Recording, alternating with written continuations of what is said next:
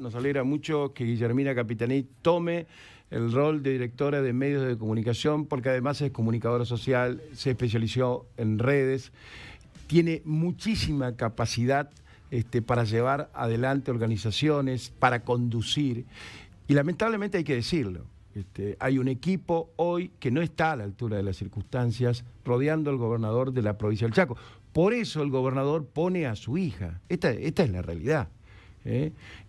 Mire, yo cada vez que quiero tener informaciones del gobierno de la provincia del Chaco, tengo que destacar a Alejandra Saucedo, con todas las letras.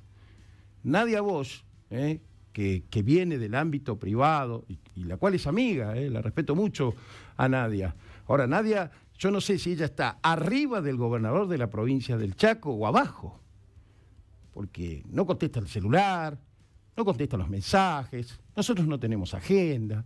Los chicos van, se hacen los personajes. Nadia, vos sos del interior. Vos sos una chica muy capacitada.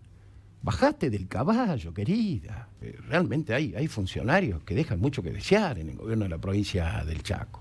¿eh? Eh, son más personajes que el propio gobernador. Son más personajes, pero, pero, pero es impresionante.